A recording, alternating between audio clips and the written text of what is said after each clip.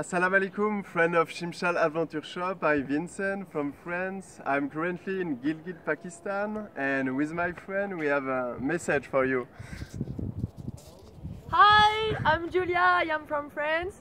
We met all together in Iran and uh, we decided to come to Pakistan all together. And now we enjoy in the mountains and we want to stay here. Hello, man. I am Bernardo from Spain, and we feel really good here in the mountain, in the region of Gilgit, and in the north of Pakistan in general.